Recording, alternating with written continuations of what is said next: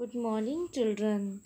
Now you know how to find LCM by writing actual multiples of number.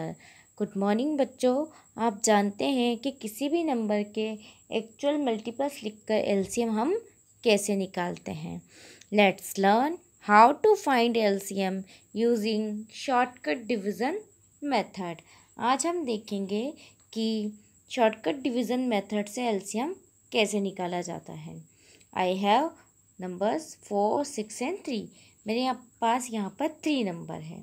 इनका हमें LCM निकालना है by the shortcut division method first we write the numbers in a row separated by comma इनको हम एक रो में लिख लेंगे और कोमास के द्वारा इनको अलग अलग कर लेंगे। बीच में हम कोमास लगा देंगे जिससे हमें पता चल जाएगा कि four is separate six is separate and three is separate ठीक? अब इनको डिवाइड करने के लिए सबसे पहले हमें एक लीस्ट प्राइम नंबर लेना है, जो या तो इन तीनों नंबर को डिवाइड करे, या किसी टू को डिवाइड करे, या किसी वन नंबर को इनमें से डिवाइड करे।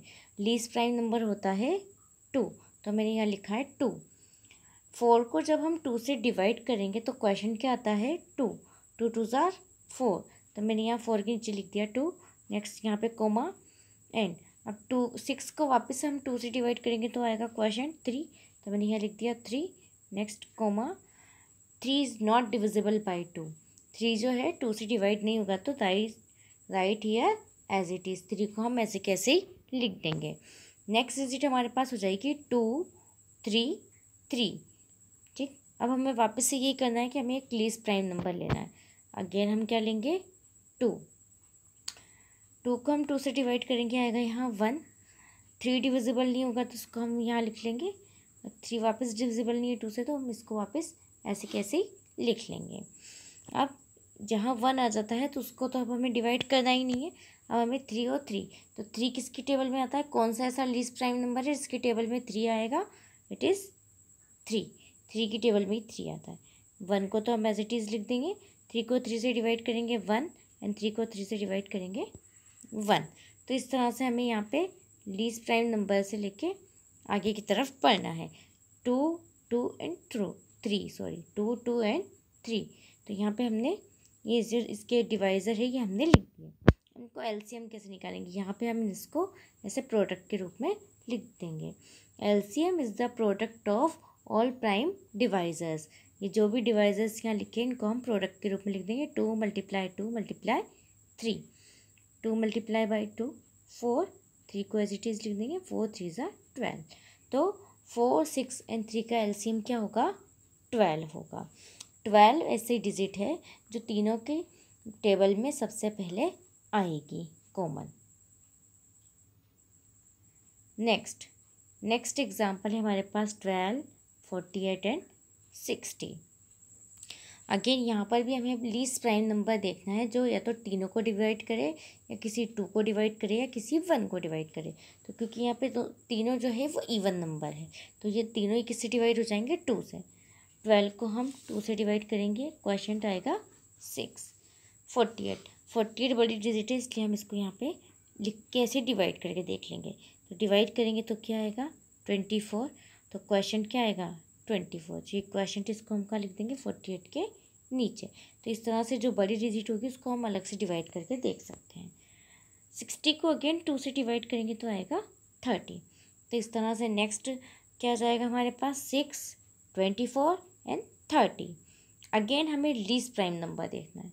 Again two six is divisible by two and question is three six को डिवाइड करेंगे टू से तो क्वेश्चन आएगा थ्री ट्वेंटी फोर को डिवाइड करेंगे टू से तो क्वेश्चन आएगा ट्वेल्व थर्टी को डिवाइड करेंगे टू से तो क्वेश्चन आएगा फिफ्टीन तो इस तरह से हमने ये लिख दिया।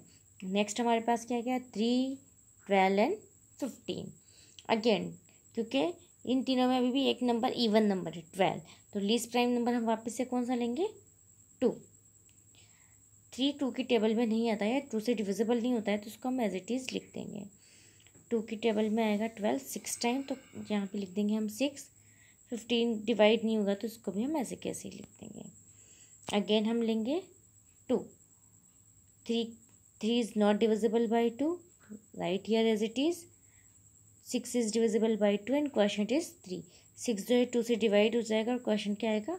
थ्री तो यहाँ लिख देंगे हम थ्री फिफ्टीन को हम एज इट इज़ लिख देंगे, क्योंकि फिफ्टीन टू से डिवाइड नहीं होगा। अब हमारे पास आया थ्री थ्री एंड फिफ्टीन। अब प्लीज़ प्राइम नंबर हम कौन सा लेंगे? थ्री क्योंकि अब थ्री किससे डिविजिबल होगा? थ्री से। टू से डिविजिबल हो ही नहीं सकता ये। तो यहाँ लिखा हमने थ्री थ्री वन ज़ा थ्री थ्री वन ज़ा थ्री एंड थ्री फाइव ज़ा फिफ्टीन अब फाइव लीज प्राइम नंबर अब हमारे पास यहाँ बचा फाइव तो अब हम इसको किससे डिवाइड करेंगे? फाइव से। क्योंकि टू और थ्री दोनों से ये फाइव डिवाइड नहीं होगा। इसलिए हम आगे बढ़ेंगे टू और थ्री से तो नेक्स्ट प्राइम नंबर क्या होगा? फाइव तो हम यहाँ पे फाइव से डिवाइड करेंगे. So we continue to divide until we get the question of all the numbers as one हमें तब तक इन नंबर्स को डिवाइड करना है जब तक सारे नंबर का क्वेश्चन क्या नहीं आ जाए? वन वन वन और जैसे ही वन आ जाए डिवाइड करने का काम ख़त्म करना है. Come to the next step अब इसके जो ये डिवाइजर्स या जो फैक्टर्स हैं, इनको हम ऐसे प्रोडक्ट के फॉर्म में लिखेंगे। Two multiply by two multiply by two multiply by two multiply by three multiply by five two है फोर टाइम तो फोर टाइम उनको लिख दिया three and five two two two ज़ा फोर टू टू ज़ा four three five ज़ा fifteen next अब इन दोनों को मल्टीप्लाई करेंगे फोर फोर ज़ा sixteen fifteen as it is sixteen and fifteen को जब हम मल्टीप्लाई करेंगे तो आंसर आएगा टू हंड्रेड फोर्टी तो इस तरह से twelve, forty eight and sixty का एलसीएम क्या होगा? Two hundred forty. Two hundred forty एक ऐसा नंबर है जो इन तीनों की टेबल में सबसे पहले कॉमन आएगा। So childrens that solve for now.